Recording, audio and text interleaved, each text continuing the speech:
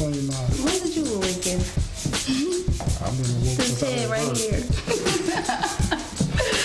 it's funny because I think about sometimes how people awaken themselves. They try to do all that whole test, and some people half a year, some people a year. So I was just wondering.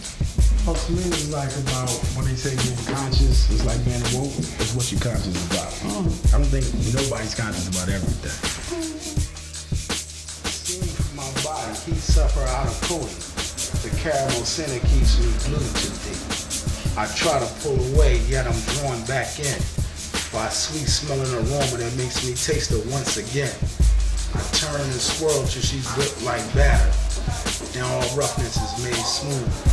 My inner volcano is cool. My life nectar covering my essence when she melts like chocolate.